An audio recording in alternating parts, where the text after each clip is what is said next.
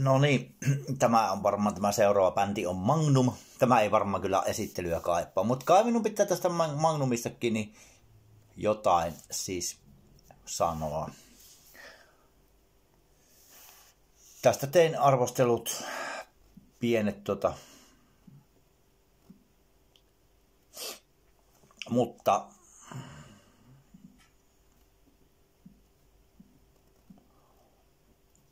mm, tota, niin, no, jos niin kun jotakin tästä bändistä sanoisin, niin tämähän on vanhempi kuin meikäläinen. Siis tämähän on yli, onko tämä yli neljä, 40 vuotta, kun, äh, miten se nyt oli,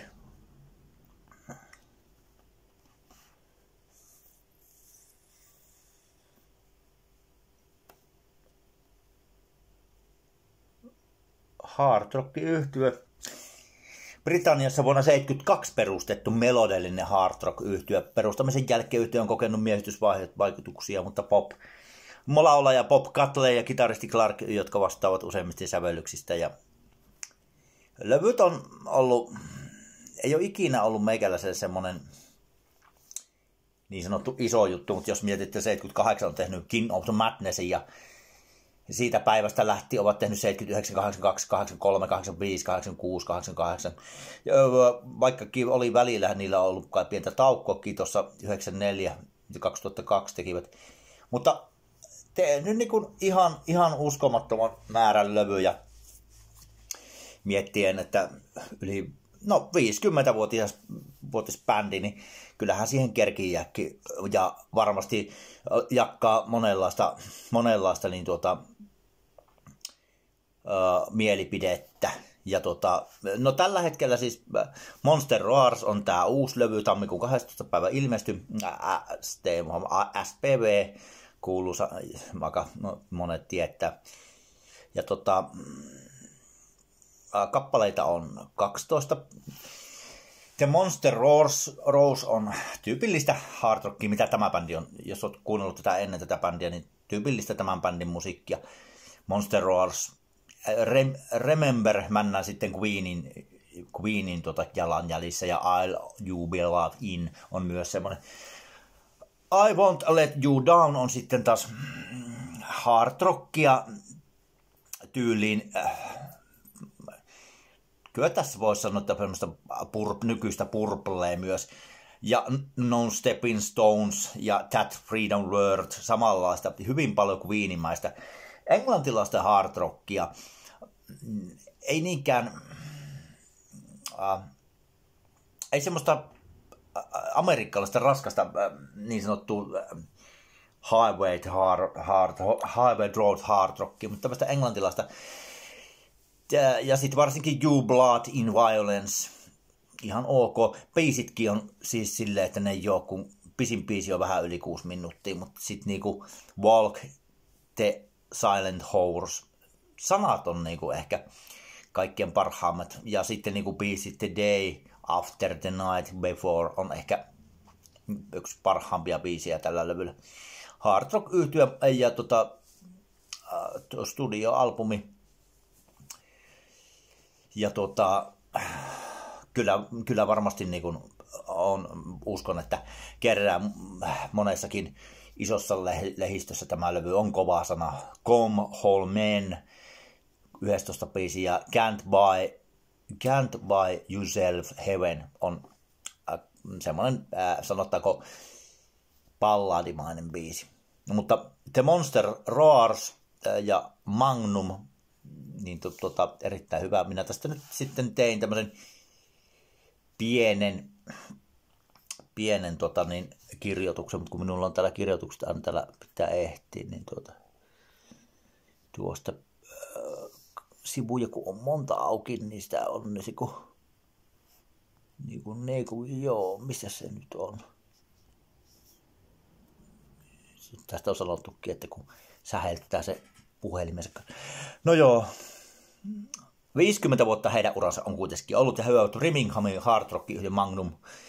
Ja on tässä edelleen vähän sitä hittimäistä meininkiä, että kyllä tässäkin voisi löytää niin kuin ehdottomasti niin tota, hittibiisi.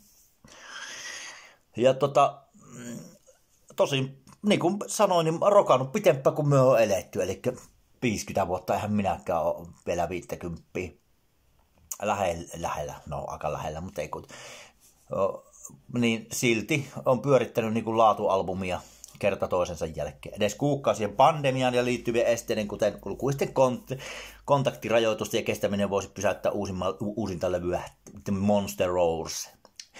Silti bändikunnosta yhä innostuneita, vaikka ovat vanhoja ukkoja, niin kuulostavat innostuneita ja todellakin yhdistävät klassisen Magnum Soundinsa modernilla otteella. Ja niin kuin sanoitte, kuulostaa kirjoitettu täysmittaista rock-operaa ajatellen mietiskelevä Orkestroitu nimikkokappale käynnistää asiat sillä seuraava sensatiomainen retrohenkinen Remember, Remember ja All Your Believe tarjoaa enemmän hymmäisiä rock-opera-julkaisuja, selkeät nyökkäykset Queenille, niin kuin minä puhuin. Taas I Won't Let You Down palaki on kiinteää 70-luvun pop-rockia, joka on ikimuiston kuoron ja orkestraation mukana. Sitten The Preset Not Best vaihtuu vaihevattomasti Don Beastistä kohottavan laulaja Bob Cantlen upealla laululla, niin kuin yleensäkin. No Steeping Stone-kappaleessa he, löytä, äh, he ovat sitten tota, äh, pirteällä rokka. Se on vähän semmoinen, äh, vähän niin kuin sanottaisiko AOR-meininkiä.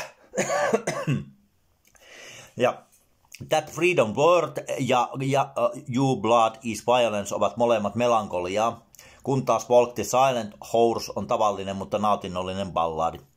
The After the Night, uh, the Night the Before on taas vankka julkaisu, progressiivinen särmän on siinä.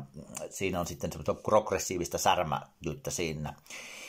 Ennen kuin albumin sulkee kappale sulkee Come Home Men ja voimakkaan mietiskelevän Can't Buy Your Yourself Heaven. Kitaristi on taitava ja luotettava aina asiat, pitää kauniina ja yksinkertaista musiikkia. Ja suoritus on, koskettimet on tukevat ylivoimaisesti hyvästi orkestriota.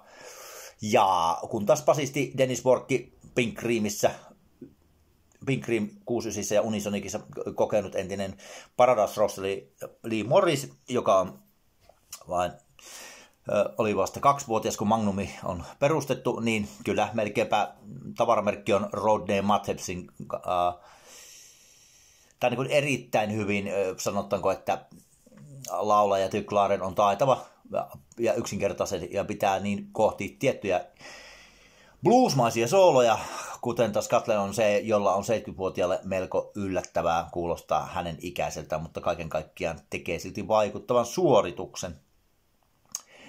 Ja erittäin hyvä, jos tämmöisestä tykkää, niin albumihan on,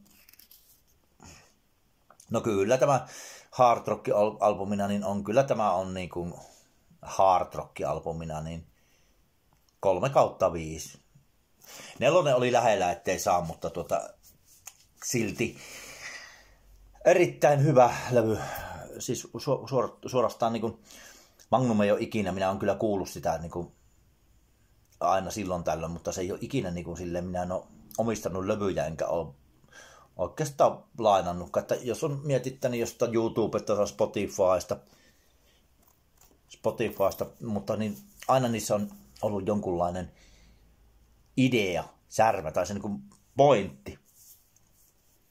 Mutta äh, tosi, tosiaan voisin sanoa, että Magnumin The Monster Wars on yllättävän kova ja tulee olemaan kyllä varmaan kansainvälisesti kaikkien isojen, isojen metallilafkojen äh, esimerkiksi näiden metal, no ei Metal Hammer, mutta tämmöisten tiettyjen makasinejen, äh, kitaramakasinejen niin varmasti syynissä on.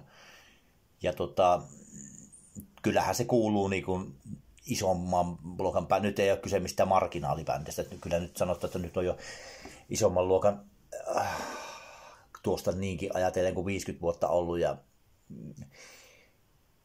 tasaisen tappava tahti ei ole kyllä ikinä mikään Iron Maiden systeemi, mutta ehkä se on hard rockia, niin, tai Rolling Stones, mutta kyllä täytyy nostaa hattua 50 vuotta ja äijät porskuttaa vielä.